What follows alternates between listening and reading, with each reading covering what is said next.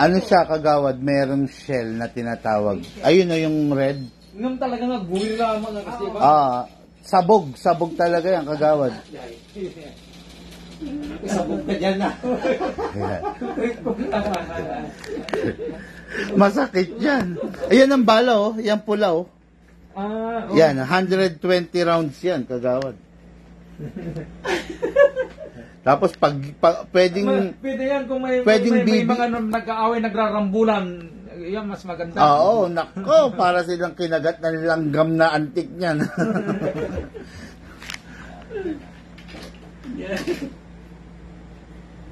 Yan na rin. Nagkaroon na kasi ika na. Ay, ah, oh.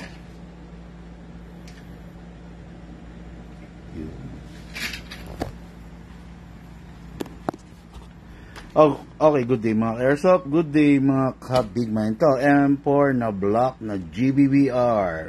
Uh, GBBR, ibig sabihin, gas blowback rifle. Okay? Yan, equipped na siya with a laser. Okay, ah then binigyan natin ng free na na hand grip si Kagawad at saka plus the ah ano to ah scope okay yun napakaganda ng unit niya okay let's meet Kagawad Hello po. Yan. Morning. Yan, good morning. Bali, galing pa siya sa Pangasinan, no? Okay, makikita nyo, ah, discuss ko muna, yung rifle niya is naka-fix ah, front sight, no? Yan. Then, ito kasama to, just in case nandito yan, pwedeng niyang ilagay, pwedeng hindi. Kung magkaroon siya ng ibang ah, rifle, pwede niyang ilipat to, then ibalik niya lang to, no? Sasama natin yan. Plus, syempre, meron siyang sling. Yan, okay. Ay, ganda. Okay, start na ako.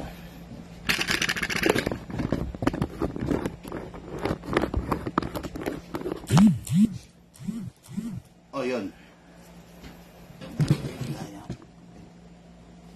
To, bihirang-bihira to, makikita nyo CQB. Mas nagustuhan ni Kagawad yung CQB kasi, syempre, hindi, hindi mahirap i-maneuver, madali lang, ah, mas maikse, sabi nga, no?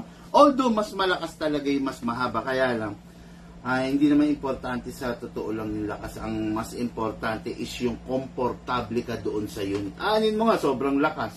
Pero, ngawit na ngawit ka, ngalay na ngalay ka, ang hirap na hirap kang iliko, i-maneuver siya, di ba? Napakalupit ng unit na to, mga airsoft na full metal mula ulo hanggang paa, conventional butt stock. Makikita nyo, ganyan talaga yung mga butt stock, halos ng mga tunay, mga gamit ng, ng mga PNP natin, ganyan. Fully adjustable. Okay? Ngayon, depende na lang sa reach ng braso ni Kagawad kung paano gusto niyang, kung saan siya komportable. Okay? Ngayon, dako muna tayo doon sa magazine. Kagawad, dito po yung, ay, kanya ako reloader nito, yung kakaiba, yung stick. Ah, nandiyan. Eto. Doon. Meron ba dyan?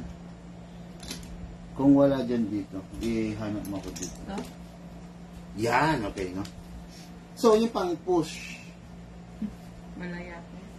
Hindi, pakitingin na lang ako.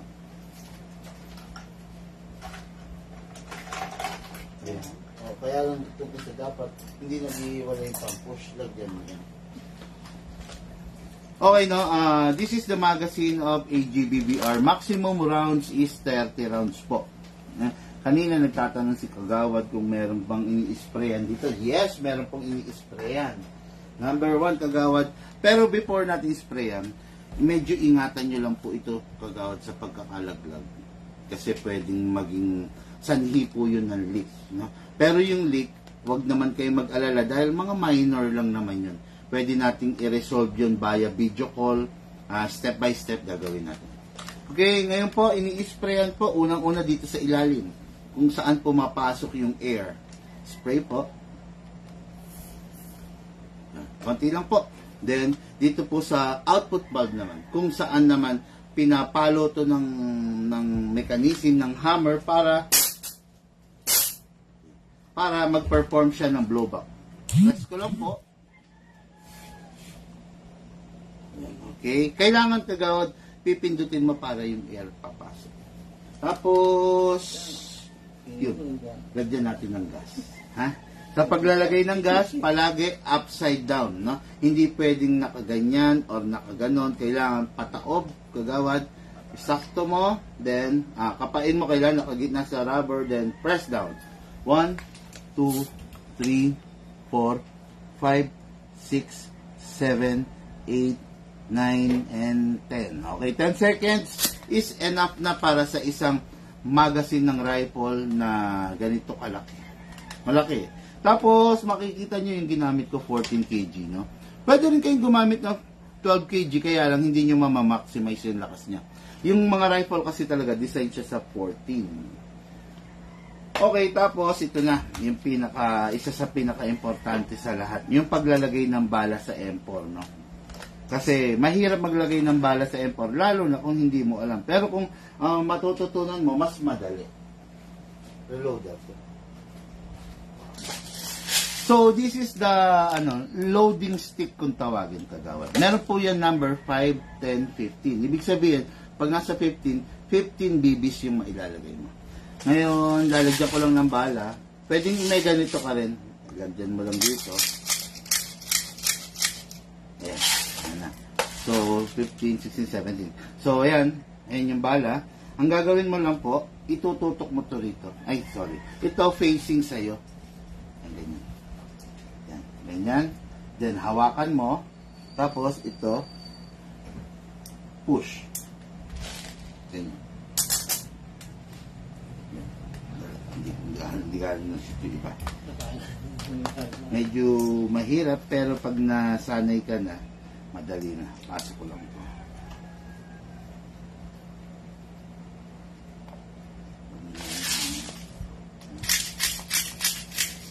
Yan, di ba? Nalagyan natin kanina, lagay pa natin itong sobra. Pasok ulit, kagawad. Then push ulit.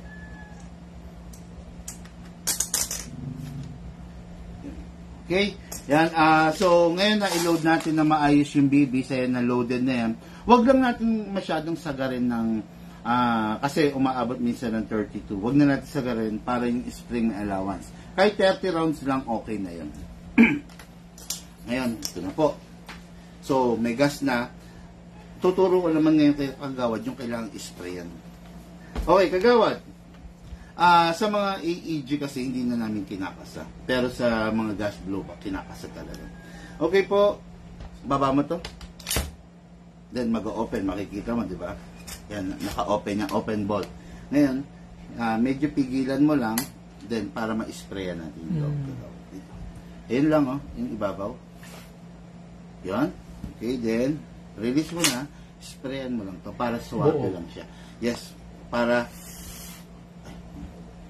para umano, para ano siya, ah, kasi magkikis-kisan niya, para hindi siya. Yan, Para tawag. Okay, punasan ko lang. Okay, edi ayan na kagawad, edi meron ng ah, silicone oil, ready na rin to. Yung target nito nga. Pasok po. To. Diyan ka na lang, ikaw na lang tatargetin ko. Brutal to si kagawad. Ay, Baka wala akong mabaril dyan. Okay. And, ah, ito. One-one lang. Ah, ano? Video? Mm Video? Oo nga.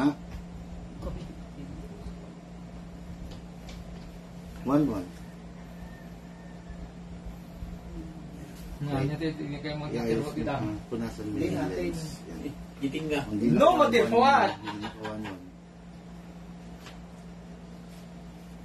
Okay, yan. Okay? Kagawad, pasok po natin. Make sure you heard the clicking sound. Make sure na hindi siya malalagay. Okay? Wala Wala, na ba? Wala pa. Aba, wala nang kinakamot-kamot to mga ka-airsoft pa. Ah, ano na to? Dire-diretso na to. Giliram si kagawad mamaya. Dito, dito. Okay. Kasa. To, kasa. Malatanggol, mala Ricardo Dalisa. okay, kasa. Bitaw. Ready to fire. Okay. Ah, yan po. Ibibigay ko siya sa inyo kagawad. Naka-save. Kayo na bahala mag-semi and mag-rapid fire. Okay po? Okay. Doon ka. Ka. Okay. Mala action star dapat kagawad ah. Ang tagsan na tagsan. Iyon.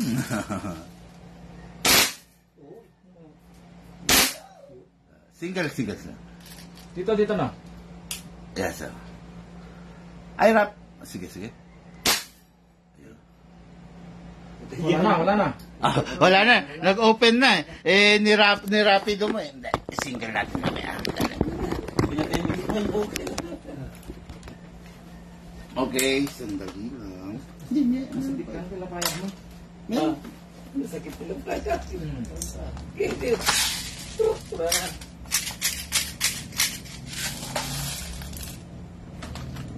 Kaya,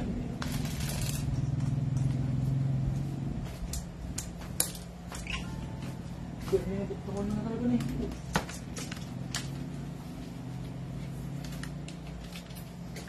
One, two, three, four. Ano na? Kailangan, alam ko, naturista, sabi na nga ni Boss eh. Kailangan tanggol yung tinira. Kapag pang ano yan, pang, pang Facebook talaga yan. Una, una, una, una. Ah, at tama. Pasok ko. Check ko lang kagawad. ah. Save. Yan, okay. Single.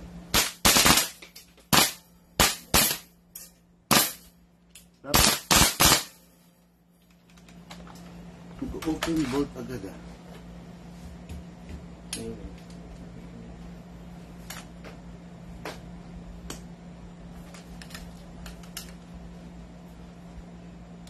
Sabay, naman no, dati ko ay, mag, i- i-order min to lahat. Kan niya, madam niya, nadan tati ko niya. Opo. Hindi niya naiintindihan, no? Ilocano yun. Hindi nila naiintindihan. Ano, ah, gagawad, ah, siguro practicein mo lang na kontrolin yung sa daliri. Kumbaga, wag, wag masyadong mabigat. Mas maganda yun para kuhan. Sigurado na. Pilay agad. Pilay okay, agad, pasok. Release. Hindi na kailangan ikasa. Okay. Sige, kagawad. Ayun po ulit. Nang, Loko sa gilid.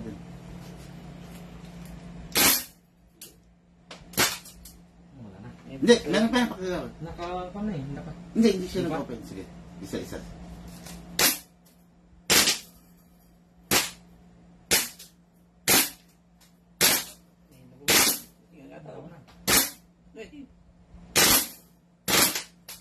Yun. Mag-open, nag-open bolt? Oo. Ayun ba? Hindi, meron pa. Sige, ubusin ko. Okay, ah so, wala nang gas, no? Okay, ah ganito lang, no? Isang rules lang pagdating sa GBBR. Pag malamig na yung magazine, medyo pain, painitin natin ng, ng ating kamay, no? Kung makikita niyo yung unit, ang sarap mga ka-airsoft. Bakit? Kasi merong recoil, no? Kung makikita nyo, ito ah, set-set ko lang to ah. Ayan ah.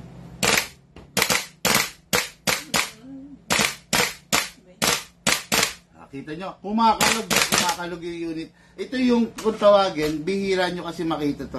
Ito yung GBBR na, na tinatawag natin, no? Gas Blowback Rifle. Iba, iba to doon sa mga AEG na automatic electric gun, no? Ah, kumbaga parang di battery versus di gas. So ito di gas kaya kung makikita nyo, may mga blowback talagang pumipitik siya, may kick nga kung tawagin.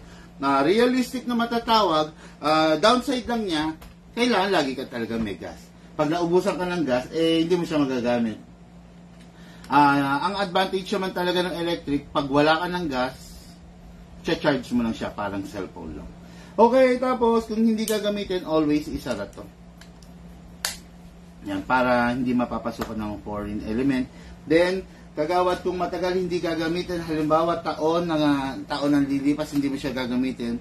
Ay, taon, sorry, buwan or weeks na ma- matagal, mas maganda itabi mo ito na walang lamang bala at saka hangin.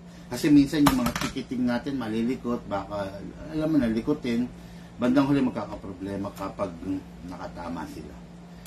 Tapos, ayun, ah, alam ko naman nag-seminar ng mga gun safety, gun safety ito si Kagawad. Siyempre, hindi naman ma-issue ng LTAP to kung di marunong to. No? Okay, ah kaya hindi ko na i-discuss yung mga Cardi Cardinals, no? So, unit ang ating kagawad from ah San Manuel. Tama po? The GBBR ah, M4 Black Series. Ganda oh. Full metal. May kabigatan nga lang talaga. Okay? Thank you guys. Have a blessed day. Mamaya live ulit. Ilocano nga. Salamat kada kayo amin. Sana. Ayun. ah, ano to si Sir Judge Phil, taga Nueva Ecija naman to, no? Ah. Thank you.